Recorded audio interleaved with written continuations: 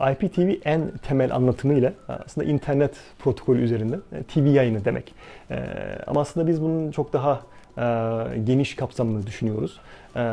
IPTV ile şu anda eski sistem televizyonlarla, kablolu televizyonlarla ne yapabiliyorsanız hepsini yapabiliyorsunuz hatta daha fazlasını yapabiliyorsunuz. IPTV internet bağlı olduğu, bazlı olduğu için bize bazı ekstra avantajlar ve kolaylıklar sağlayabiliyor.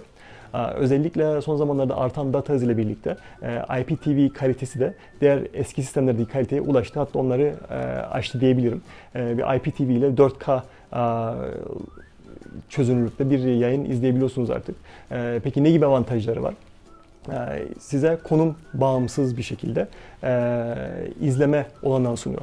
Mesela siz diyelim ki evinizde bir e, televizyon üstü kutu kullanaraktan e, fiber bağlantınız ile e, IPTV izleyebilirsiniz. E, fakat daha sonra evden ayrıldığınız zaman bir mobil aletinizle ya da bir padle e, ya da bir masaüstü uygulamayla izlediğiniz programı, izlediğiniz filmi, izlediğiniz her neyse artık onu başka bir ortamdan kaldığınız yerden istediğiniz şekilde izleyebiliyorsunuz. Ee, dediğim gibi sosyal medya e, iletişimi mevcut. E, oradan girip siz istediğiniz zaman istediğiniz şekilde yorum yapabiliyorsunuz. E, IPTV platformu bize bu tür e, avantajlar sağlamakta.